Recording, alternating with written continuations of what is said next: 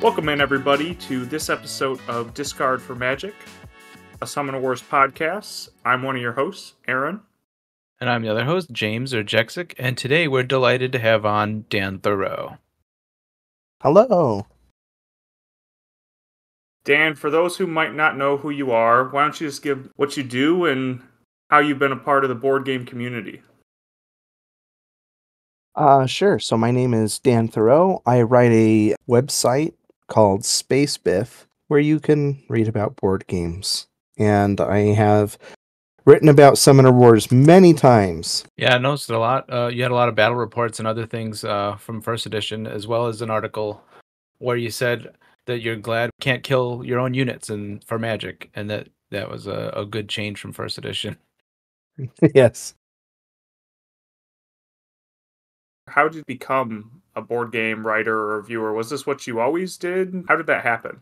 So this isn't this isn't what I do for a living. I teach college. About 12 years ago, something like that, I I got into board games and I was loving board games. I really fell in love and it seemed like nobody was writing the sort of board game reviews, the sort of criticism that I wanted to read. My personal motto is uh, that if something is worth doing, it's worth doing badly. So I started doing it badly.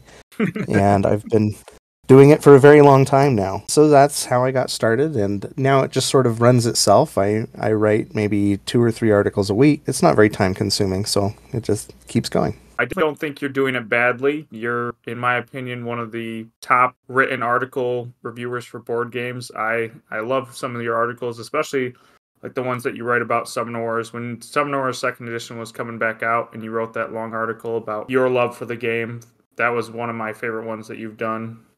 Oh, thank you. And you said it was like coming home, and I kind of felt that, you know. yeah, and it really it really does feel that way. You know, I I wasn't sure when I talked to Colby uh, about the coming second edition, what it would look like or how it would change, because I think some things needed to change, right?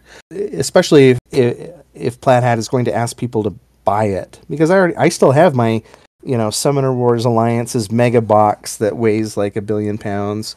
Um, I still have it, and so asking people to reinvest and and go along on this ride again, especially the hobby scene having changed so much. Some things needed to change, and then I played it, and it really was like coming home. It just it felt comfortable, it felt good, so it was it was wonderful to be back. Like appreciate everything that they changed about it. Were there things that you felt like you missed from the first edition, or things that you really enjoyed that they put into the second edition that you didn't see coming? I was surprised, uh, pleasantly so, by most of the changes. I think I think it's a better game. Even little things that are sort of mathematical changes, like commons feeling more worthwhile. You know, the meta game of the of the first edition sort of developed in a way I didn't like, and I, I think that that eventually happens with every meta game. that people learn what works and then that prevails. You know, the original game had shifted so much toward champions that it kind of felt like common units mostly existed to fuel champions. And so that whole idea of killing your own units, you know, how, how would you start a match if you were taking it really seriously? Well, you would murder your own units to get that magic boost so you could bring out champions. And so when the second and and you know even the first game there was more to the meta game. I don't want to re- be too reductive, you know. Eventually uh, the team came up with all of these great ways where you had commons that were like anti champions. But that still reflects that the, the meta game was largely built around champions. And so when the second edition came out and and common units were a little beefier, that they had a little more to recommend them. I was really excited to see that. You asked a question, is there anything that is that has changed that I miss? And yes, there is. I I do miss the tactility of taking magic cards and putting them in a magic pile. When you kill an opponent's unit and actually physically taking that unit and putting it in your magic pile, it makes more sense this way because, you know, you don't have to mix decks. But, you know, tracking magic with a chintzy little cardboard token just doesn't feel as good as having a magic pile. So I think that's a positive change, but I do miss it. Yeah, I still try to do that when I play in person now because I play most of my games online. I was playing with a friend a few weeks ago, and I kept trying to take his cards and put them in my in my discard Right. pile. I was like, wait a second, right. that doesn't work like that anymore. you once described it as like an archaeological record of the game, which you don't have anymore. And that was that was fun, wasn't it? To be able to kind of look at the magic pile as you're going through it and see, well, here's the cards I sacrificed and here's the cards I stole. And you were kind of digging through these layers of sediment that spoke to the things that had happened over the past couple of turns. And that that was part of the game's charm. You know, and I don't want to sit here and talk only about like the things that the second edition doesn't do that the first edition did, but that I do miss that. I I do think that was great. I think the one thing that changed for the better with that, with the way it works now, is that it's a lot easier to make something like the Fallen Kingdom work or the Fungal Dwarves because you just put your own stuff in your discard. You don't have to like kill them, get them back, and then raise them from the dead. You know what I mean? Right. Yeah, exactly. Or use a magic drain to steal your own units back with Red Talis. So, you know, that was a thing you had to do too. Thank goodness the magic drain is gone. Drain was something that I don't miss from first edition. you don't miss magic drain? Wait, what about for the cloaks? Then it's thematic, right? no, no, I don't. I don't miss that. I do. I love some of the like anti champions that they had in the first game. Like Filth was one of my favorite factions to play, and like the Claw mutant coming out and rolling dice equal to like the health up to like I think it was max at five or something. But stuff like that I thought was really fun in first edition, and there's some stuff like that in the second edition too. But you're rolling more, you got more health. It feels like a bigger outcome, even though it's probably proportionally about the same. The other thing I I miss, and I'm glad you kind of alluded to it, was like the first game because it was a little bit more of like a hobbyist product. You know, it was a little more amateurish. It was allowed to run a little more wild. It didn't have to think about like as many long term concerns of balance. And eventually those became problems. But in the moment, things like the swamp orcs, like actually filling up the board with swamps, or the filth having all their mutations and just running wild. You know, there was a certain woolliness to the first edition that even though it wasn't as playable as the second edition, and I really do think the second edition is the better game. You know, I'm not I'm not actually interested in going back to the first edition, but that first edition really was allowed to kind of run with its imagination and express its creativity in a way that I don't think the second edition, at least so far, has been able to. Yeah, Colby's definitely said he doesn't want to bring back extra decks like the Conjurations or the Swamp Orc Vine Walls, but I am curious to see what happens with the Filth because they're they're slated for the next wave, and it'll be interesting to see what happens there. Are you a playtester? Do you guys have like ins? Do you secretly know? Or are you just saying like I'm curious, but you actually know? Okay, we are playtesters, but we are also still curious. We don't know very, very far in advance, so like I am actually curious what they do with the Filth because I don't know how much I can say, but basically we don't have the Filth yet. that's that's what I can say. Okay, okay.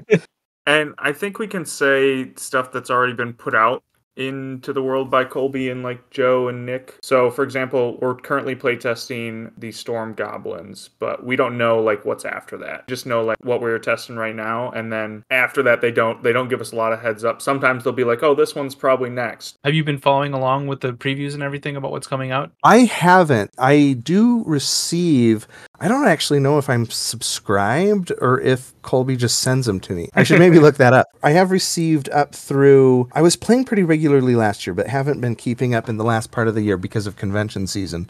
Um, but oh, who are the two factions that I have on my table over there? I can't quite see them, but it's like Scarlet something. I don't know. Oh, oh, maybe the Crimson Order and the Mountain Varga. Yeah, I think so. Something like that. So I've been keeping up on the releases in terms of them getting sent to me, but I haven't played everything. I guess that leads into a bit another question we were having. So, like at, at one point in time, Summoner Wars First Edition was probably your favorite game, with, just based on the sheer volume of what you were writing, and you were playing it with your your wife a lot before the app came out, or even probably after the app came out. What do you think has changed? Has the industry changed around you, or have you changed away from Summoner Wars? Do you think? That's a good question. I think it's probably a combination. When Summoner Wars First Edition came out, it was one of the only good board games I own.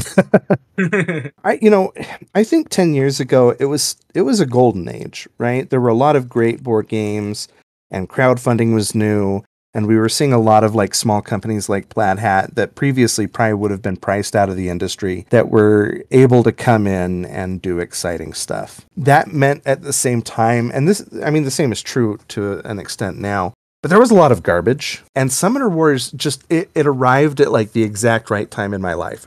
I didn't have kids. I was married, so I wasn't even like spending time dating. I just had an enor- I was in grad school, so I just had like this enormous amount of time to pursue one game. And I, I I tend to be really wary of lifestyle games like like I never really got into Netrunner, for instance, just because I didn't like having to like build my decks over and over like every couple of months. But Summoner War afforded me a lot of a lot of flexibility because building its decks were pretty easy. Like you could do it like in 10 minutes before you played.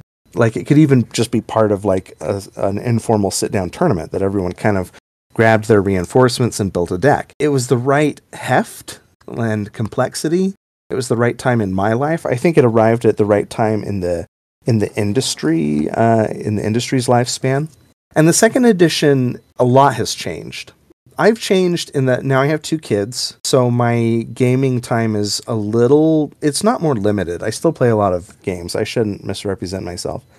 But I spend a lot of time with different games. I do write about games semi-professionally. I don't know how I would phrase it. And so I play a lot of new games. I have less time to devote to one game. So a lot has changed. So you think that uh, because of your writing about games, you kind of pulls you in directions to, to to play just more new things and and have more interesting new things to talk about then? Yeah it could be that. I think that has a, a big part to play. And i you know i know that there's there's a lot of burnout in terms of people who write about board games or create videos about board games. Like it on the outside it seems very easy and carefree.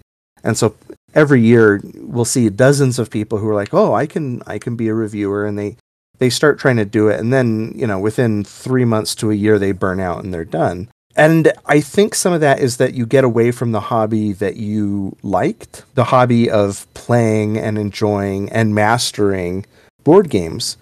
And so for me i don't feel that burnout. And a big reason is because for me the hobby is not actually board games. It's writing about board games and so sometimes I will miss like it would be fun to just play one game like Summoner Wars and do nothing else and have every weekend do little pickup tournaments the way we did, you know, 12 years ago. But I don't actually want to do that. That's not my goal. That's not what my hobby is. I like to write about this stuff. And I don't know if there's enough material there to write about, to write 100 and 30 articles a year about Summoner Wars. I think even I'd have trouble doing that. I don't know if you follow how maybe not, but I used to write a ton about HeroScape, and now I look back and I'm like, wow, how did I find that much to write about? Like your earlier Summoner Wars stuff reminds me of the time I spent with HeroScape, where it's just like you take this relatively simple game and just run with it, you know. And I think so. You think you're basically just kind of replace the the writing you did with some of that with with just more writing about different games and and, and experiencing different things. You review a ton of games, Dan. Does it ever feel a bit like a a chore having to like review a game. I really would rather be playing this game night at like our born game night, but instead I really got to try out this game because somebody like sent it to me and I want to review it, but it's just I'm just not in the mood. I mean, yeah, that absolutely happens. So, like I mentioned last year, I was playing a lot more Summoner Wars uh, Second Edition. Actually, the hardest type of game for me to play is two-player games. My wife went back to school. She went to optometry school last year, and so she's just she's too busy to play a lot of board games. And so and two player games like everyone has their cool two player dueling game idea and most of them aren't that good anyway. And a lot of war games that I do try to cover are also two player. So it's just like this really crammed field. Getting three, four, five player games done are that's easy because I have regular, you know, game nights with three, four, and five people. But two player games are super hard. But I have a friend who lives really quite near to me and he is my two player game buddy. So last year we started meeting every week to play two player games. And we do go through a lot of games that like I have to go through, you know, quote unquote. Like I feel like I don't necessarily have to do much. I can quit anytime I want, right? Just like tobacco. so he and I were doing like we would play two or three games in a night that I had on my slate for review, and then we would play Summoner Wars. And it was just so refreshing and fun to dive into this game that I have a relatively high degree of mastery for, that I, I know the mechanics, I know the strategies, I have a pretty good familiarity with the decks. And just diving in and having a good time as opposed to like learning something. You know, with the holiday season, we've kind of tapered off, so we need to get back into it. But part of what I'm looking forward to is let's play more Summoner Wars. It's so good. Have you played online at all with Summoner Wars? Yeah, I had I had a um, you know when uh, when Colby first launched the second edition, he was kind enough to gift me a digital subscription. I played it a ton, and then I logged in and it said my subscription had lapsed. I guess I used up my reviewer, so I I haven't figured out how to renew it. It was just one of those things that when I had it and when it was there on in a browser window on my on my desktop and on my phone, I was going to play it, but once it lapsed, I moved on to other things, I guess. They're working on a iOS and Android versions soon, soon too, so there should be like a, a dedicated app uh, within some amount of time. We're not exactly sure, but hopefully like a month or so. That's great. I mean, everything. I you know, I'm curious to talk to them, and maybe maybe the two of you know that it feels like the industry being in such a different place from when the first edition launched that now they have to do the subscription model and and I hope it's being successful for them because you know I I could see how it might not be. So I hope it's working out and yeah an app would be great. Yeah Aaron and I aren't privy to the numbers and I was wondering about that recently too because I was talking to a friend and he was saying well maybe they have all the people that want to play Summoner Wars. And I said I don't know about that. And also but his big thing is, are, is it doing better or worse than first edition? And I don't even know the answer to that question. So I'd be curious. Also, I know that they're doing pretty good with the subscriptions. There's been some recent like push in the community for like better ways to like share the subscriptions with friends because it's hard when you're playing online when you're playing with somebody who you don't like you're not close to like geographic to like share a deck with them and they give you one free deck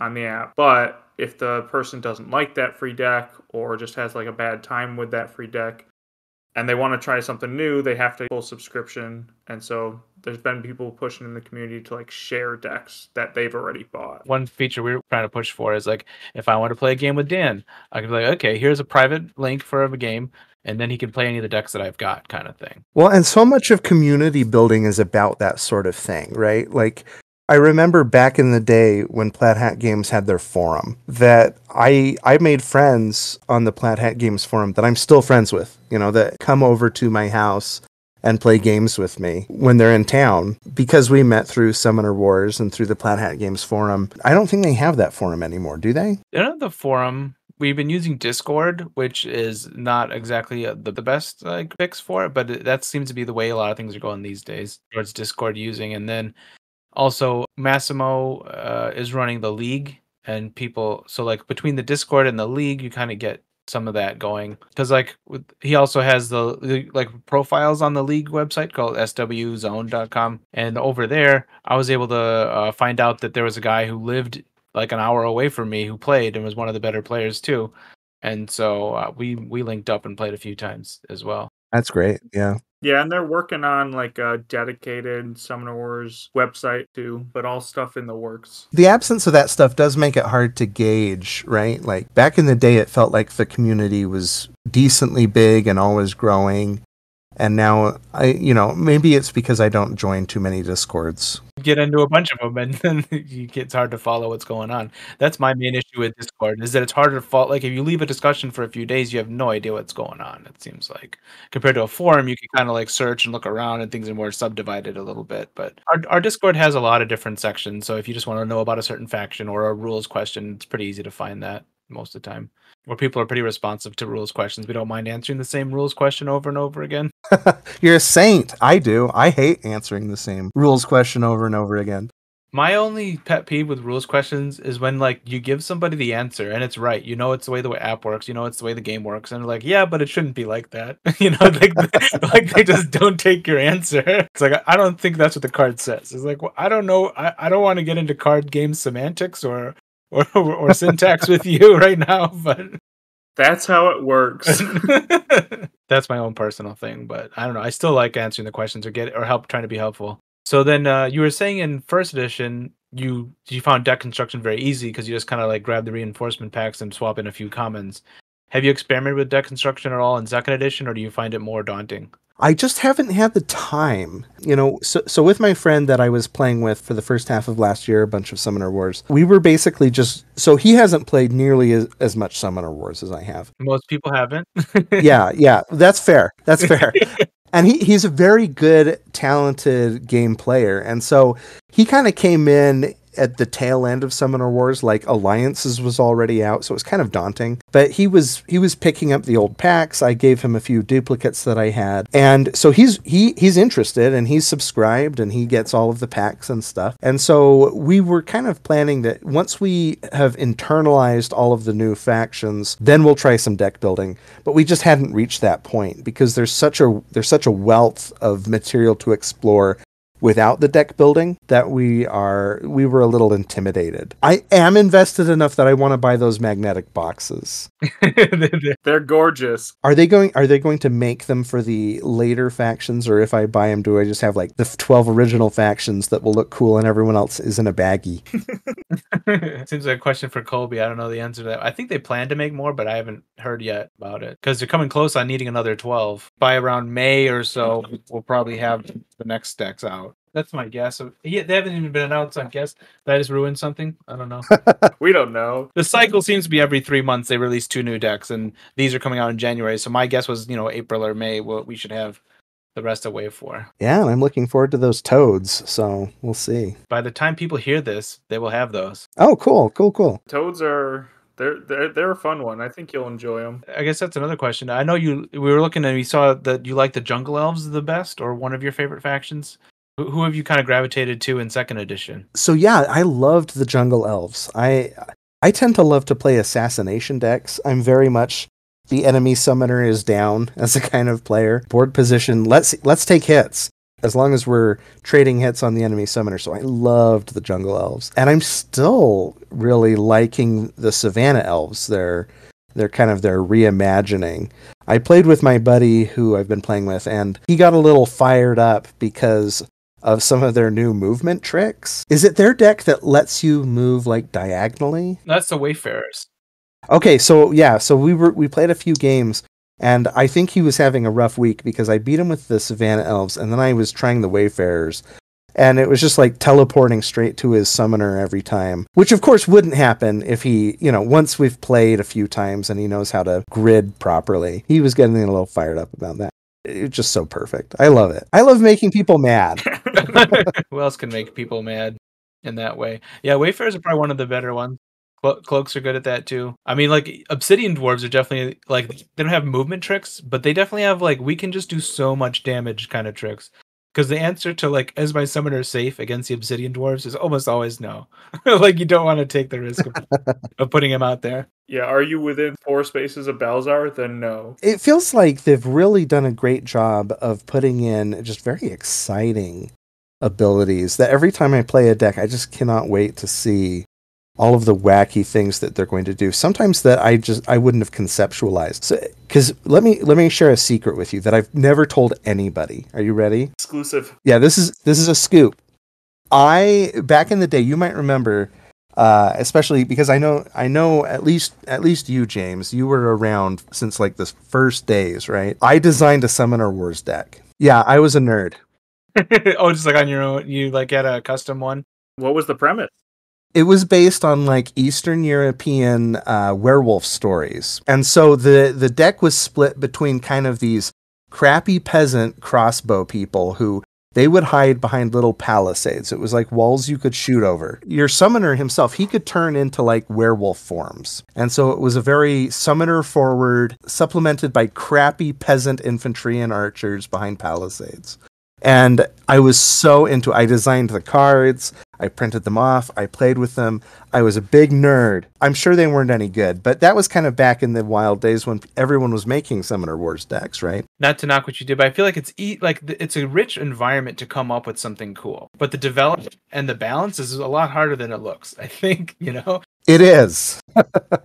It's like to make like okay, the numbers are about right, but is this fun? Is this compelling? Like it takes a while. It can or it can. I definitely like the idea of a vampire theme or a, not a vampire, like a werewolf theme. I was thinking of something similar in second edition of like what if there was a, a faction where they get boosts, you know, and then once they get a certain number of boosts, they transform into werewolves. Yeah, I think a werewolf faction in second edition would be really cool. We could uh, use it to counteract the vampires we just got not too long ago, Crimson Order versus the werewolves. I, I, I think that'd be a, a cool showdown, especially if it was like summoner centric, like you said. and you just got a giant werewolf running around and then a bunch of peasants with him. So the Crimson Order, those are vampires because I so I haven't played them yet. If you recall Mad Syrian's ability, where if he damages something, he gets healed. That summoner Mhm. has that ability again, called Blood Drain, but his name is different. Oh, cool. But he's kind of got a similar thing to what you're talking about with the peasants being weak. He's got all these little cultists that when they die, something good happens. He can heal whenever he does damage to something, and they have a long lasting thing on. They have lots of weak units and a few very powerful units. Yeah, they're they're a menace right now. People are still trying to figure out how to win with certain factions against them. The interesting thing is they because they have so many zero cost units, they tend to flood the board with magic, so your opponents are able to sub- summon more champions too. So it kind of changes the way the economy works in the game as well. Yeah, and you can't kill him for magic. That's a real bummer. Worst change ever. he does attack his own guy. He's one of the few summoners who will attack his own units just because he can heal off of them too. He just won't get magic. Oh, that's cool. So he can feed on his cultists if he wants. Well, that's very vampiric. It's good thematically and has some some great art, I think, but it's definitely it's been one of the more polarizing decks in terms of people's opinions. I'll I'll pick them next time I play against my friend. I'll, and I'll pick like an under an underpowered faction for him. Except I I was always a fan of the underdogs. I I loved picking the original Vanguard and trying to win with them in a tournament and not getting very far. I mean, it's always fun when you when you win with the people they don't expect you to win with. Did you ever play the uh, second summoner for the Jungle Elves in the first edition? I did, but you'll have to remind me. I I always knew Abuav pretty well. What was the second summoner? He had some events that allowed him to move really far or like heal or and he had the poison markers. I think he's one of the only decks with poison markers. Oh, that's right. His name was Nakuya Na, I think, and he had like a lot of animals too, because he had a he had a guy that could copy the animals, I think. Yeah, he had a guy who could copy the animals. He was like the that was his spirit form or something. Yeah, I I did play as him. He he kind of looks like Agent 47, right? Yeah, yeah, it does. Like Agent 47 transported into Summoner Wars. I did play as him. You know, just as the years went on, I I just played less and less. First the second Summoners and then Alliances. Alliances was kind of where I started breaking up with the game a little more. Not because it was bad. I, I appreciated a lot of the options. It was so much and I I wonder if every game just reaches that point where the metagame has sprawled out and you know the the designers are kind of fighting against the metagame. I don't know. Or maybe I just changed. Yeah, it's hard to say. I eventually didn't play as much uh, in first edition as well, around the same time or kind of by by the, the last few second summoners. I ironically didn't play the Jexic deck very much, even though he was named after me. like I, I played against him in a tournament and lost. I was like, oh, this is embarrassing. I don't know what this guy does. Ah, Lost to yourself. I did. I don't even remember who I was playing. I just remember playing against Jexic and being like, ah, this is imbalanced and broken. No, I didn't actually think it was balanced, but it's one of those. It's always the thing. It's like if someone thinks the deck is broken, just let them try it and then see what happens the second time. So does Jexic the, does the summoner have your face? Uh, the- In first edition, he did. He has my face from ten years ago. So now it, now you're even more handsome. I jokingly say I probably look more like the machinist now from the cloaks, if you if you're familiar with their deck. But basically, he's he's heftier. He's heftier than Vlox is. Oh, there I see it. Yeah. Oh, this is this guy. There's a lot to love about this guy. Like, I'd say between him and the Rogue, the the wayward Rogue from the uh, the Wayfarers. Very cool. Yeah, the Rogue was my avatar for a little while when I was playing a lot of Wayfarers on the the app, and then now I'm I switched to the Smasher just because I think he's a nice guy that uh, is a little under misunderstood. You know. That's why I named him the Smasher because he's a nice guy. He's just misunderstood. He just looks like he's just there because he's a you know like he just can't help it. He's just so big. He's got to be able. He's got to smash. You know. I mean, it's tough when you're just the big guy and you've been asked to smash things your entire life and not even something that you want to do. It's just it's just your life now. But also, they don't have a Brub avatar. I'll probably switch to that. That's available. Brub is the the mercenary who I play in the Tundra Orcs. Who I probably try to bring up every podcast. I think that that it's relevant. You like the Savannah Elves and you like factions that get at the summoner a lot. What like what other factions that you played have really stood out to you that you've liked? Are there any that you really have not liked? like I struggle with trash mobs. So like cave goblins, where I have to like figure out how to like screw with the phases. Okay, I'm going to attack during movement, or I'm going to move during attack, or I'm going to try to generate extra attacks beyond the three. I struggle with those just because I feel like face to face you can kind of get away with cheating a little bit, not like real cheating, but like, you know, where you're like, oh, I was going to move this guy. Can I take that back? People being bros will be like, yeah, that's fine. You know, it's hard to keep track sometimes of those cascading effects. But then when I was playing um, on the app, it was too hard. I, I was making too many mistakes. If I'm going to play an attrition game, I love the polar dwarves. Just the the creeping, crushing glacier walls and using them to like the board is just very gradually pushing back the opponent.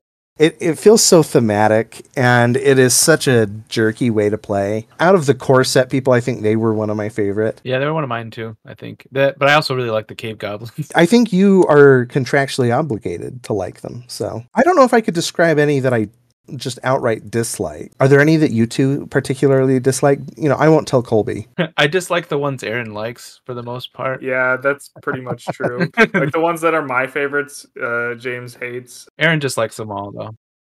We share a couple like cave goblins, but like Fallen Kingdom and Fungal Dwarves that I really like, he hates because he doesn't like the infects. I generally don't like attacking my own units. The only exception I will make is when you can use brutal force with like the Tundra orcs or other decks that can use that, and you hit your own guys forward to hit their summoner or something. Then it's cool. For the most part, and this speaks to like how good second edition is. I really enjoy basically every deck. There's a couple decks that I I don't like as much. Like my favorites are probably Shadow Elves and Breakers, just because I'm not very good with them and I don't understand them. People do super well with them and like push the units around or pull the units back to Shadow and just keep attacking me with the same unit for seven turns, and I'm just I don't get it. Like I when I play them, they just don't work that well. That's how I am with the Fallen Kingdom. It's like, oh, I know these combos exist, but they also their champions are a little weaker, and I tend to like to play champions. So Fallen Kingdom are definitely not a champion centric deck anymore.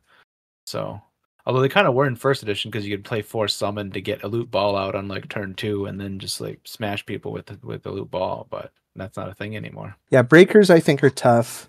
I I still just call them benders on accident. Um, the benders thing makes me think of uh like Avatar: The Last Airbender and all that. I always think about the uh, "shut up and sit down" reveal. You know, where they they loved the game, and when they did their little reveal of the master set, and were just making fun of everybody. And then their their little article just had this brief interruption where they're going, "Why did they name them the Benders? Isn't that like a UK slang for a gay man or something. That's why that's been changed, and I believe is why it was changed. Yeah, I imagine it is. And I remember at the time being like, I feel like you can't say anything without it being something bad in UK slang. So Yeah, I forgot they said that in that review.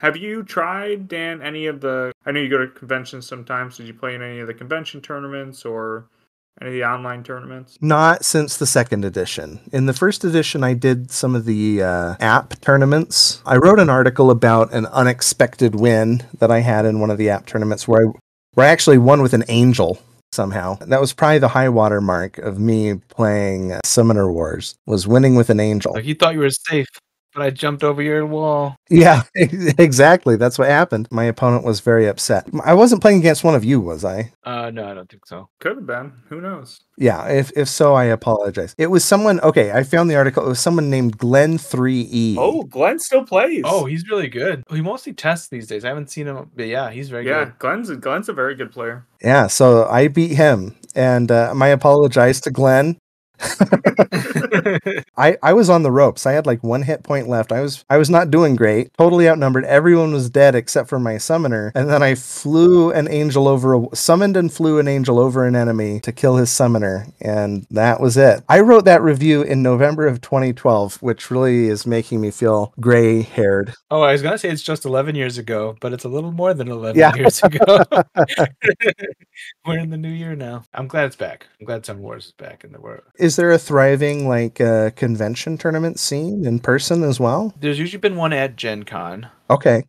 And I think they had a couple others, but there's not much. I mean, I like I said, I, I met a guy who lives like an hour away. We might try to get a, a, a scene going in Illinois, but it's still kind of very much in the pre-planning stages there you know? We just kind of have to get more folks playing first i think or at least in this area or find more. Like i'm i've been recruiting my nephews you know? They've been playing a little bit but one of them's actually in his 20s now talking about the gray haired stuff. I got him to join the league and he's like 21 so we'll see how he does but we've been playing on and off he and i I remember in the first for the first edition, very briefly at my local game store, I was chatting with the owner, and for a few for a few months, I would come in once a month with Summoner Wars, and there were a few people who would come in and we would play. It was kind of back in the day when we all felt it was our job to be like game evangelists. And I was teaching it and playing it re- fairly regularly, and then it just fell apart because it wasn't magic. And there's there's only a handful of games that really have that staying power in local game stores. And also, like sort of like the built-in prize structure is a thing too. I think because you can't just like give someone a pack in Summoner Wars because they've already got it. You know, like.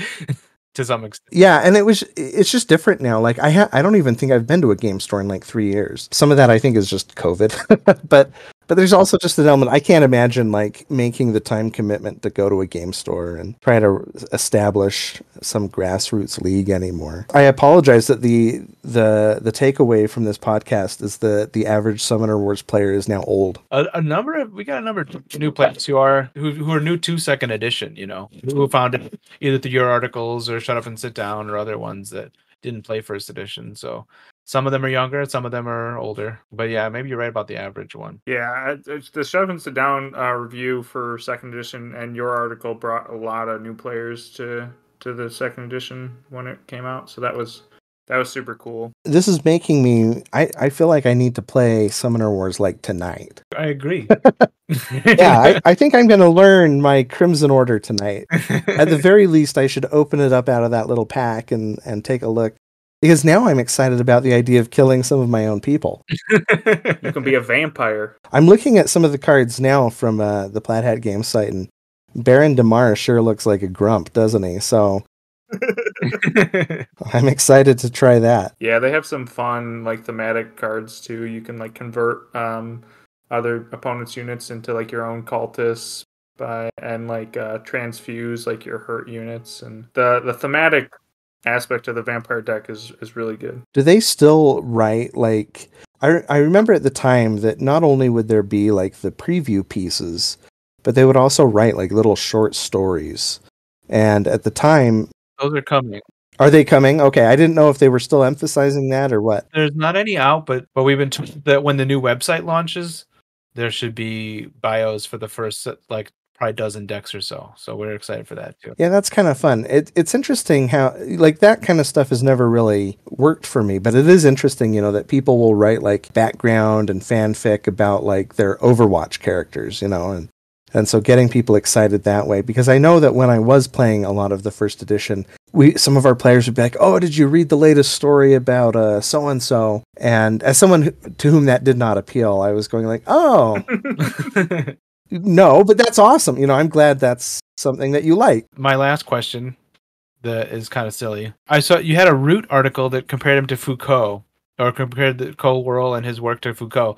Is there is there any deeper philosophical underpinnings in Summoner Wars, or is it just fun? You know, I I think there are some deeper philosophical underpinnings. I always worry because so when I wrote my series Foucault in the Woodland, talking about like root and the philosophical class based stuff that's going on in that game, which I should, which I need to say is deliberate. Oh yeah, I do agree. Cole, yeah, he bases it on real world stuff and then makes it into animals. So some people were like, "What is this wanky, you know, crap?"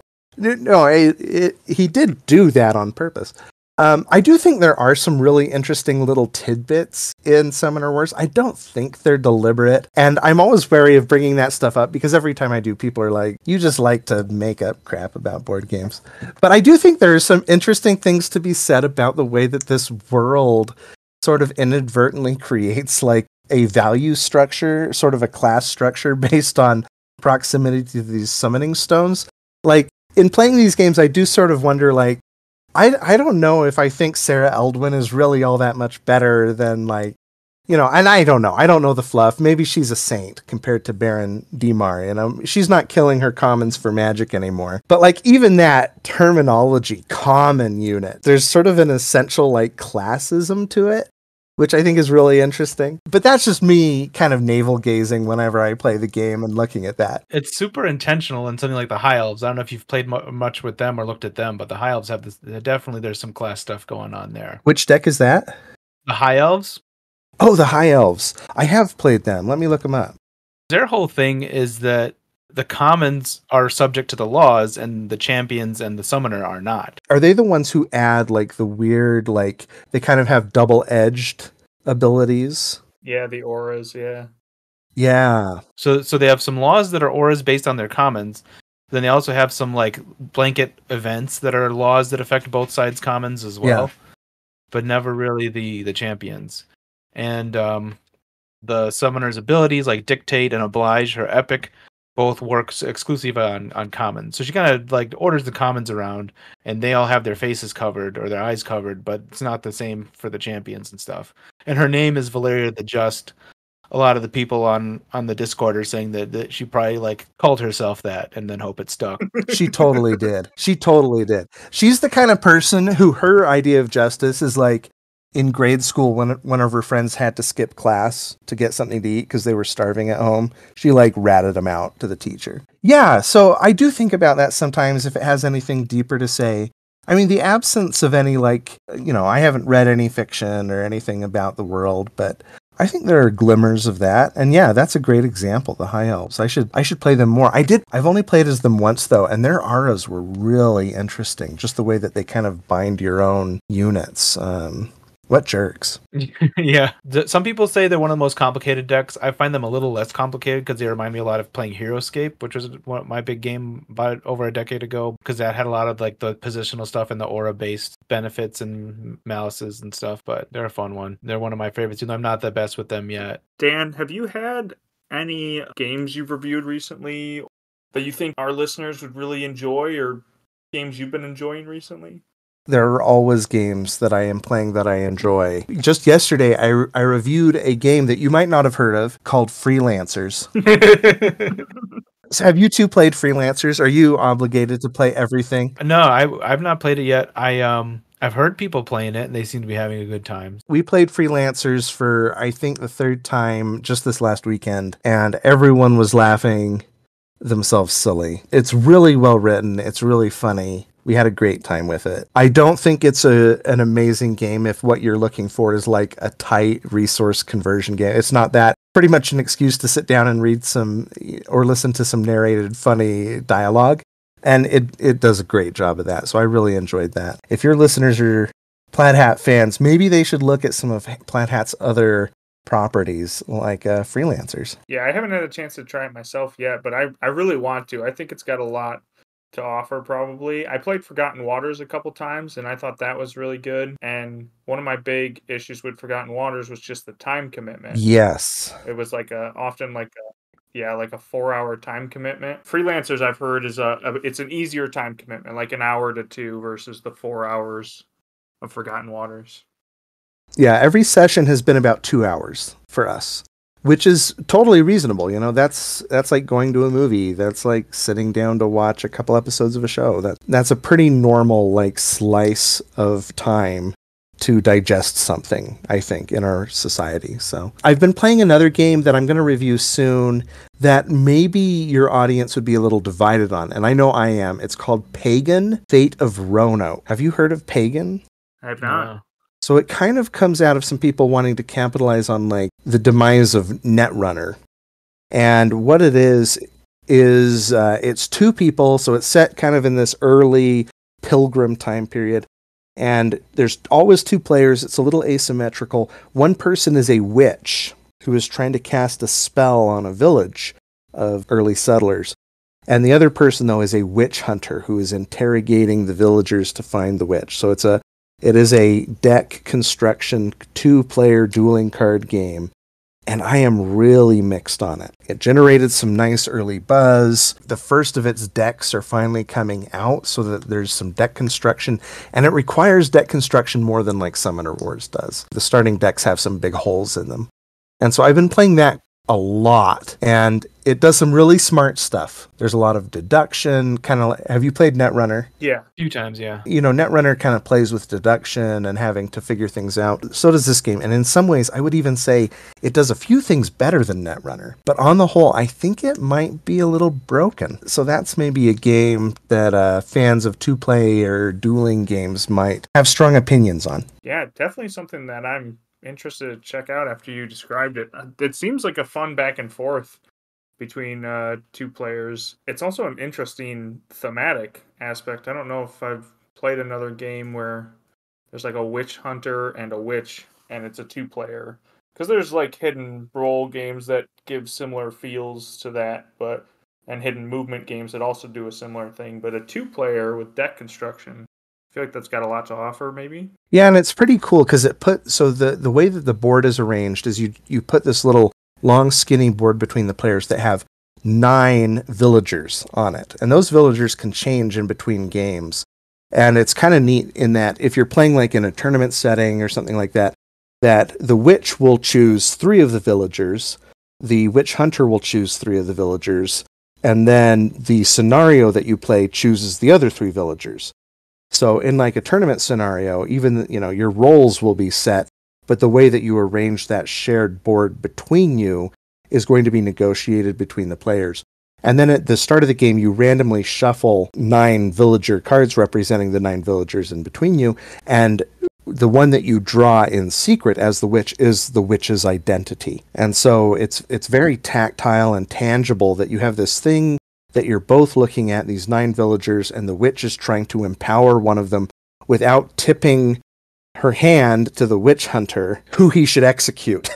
it's, it has some really great tension. I'm just not sure. Like, it's the kind of game that I hope gets a second edition in 10 years, like Summoner Wars, to kind of like make it perfect. But it's very interesting. Yeah, that's super cool. Dan, with a lot of your reviews, I especially on like your podcast, I found that you do a lot of games that have a lot to bring not only to like the board game world but also to like world in general with like different like social justice aspects of like I listened to your episode on the podcast where you you talk to the designer of like votes for women and you do a lot of those aspects are those games that you seek out because of those like social justice aspects or do they just come to you That's a great question. I spend a lot of time looking for board games that might otherwise go unnoticed. I just don't think that I add anything to the world if I if I review the latest Euro that has sold a million copies. So I li- I like to try to highlight things that maybe have flown under the radar or that say something that I think is valuable. And also I do tend to take the stance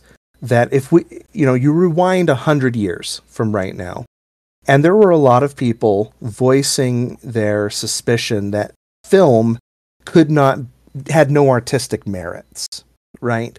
That film was pretty much for newsreels and pornography. And it was not seen as something that was, that was there for legitimate artistic expression. And we've seen that that has happened with basically every medium. Roger Ebert kind of infamously thought that video games couldn't be art. Now, I don't actually think that debate is settled. I I don't even know if board games or video games are art. I don't think I think that's sort of secondary. I don't think it really matters.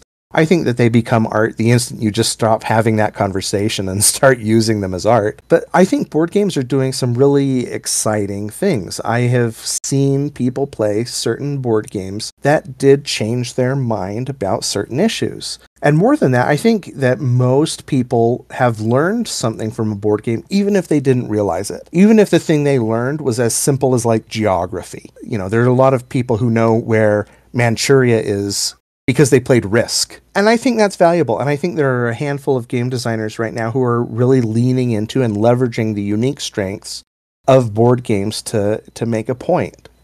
And so when I'm out and I'm looking for board games uh, to play and to write about, the people that I am more inclined to reach out to are those who are treating board games seriously.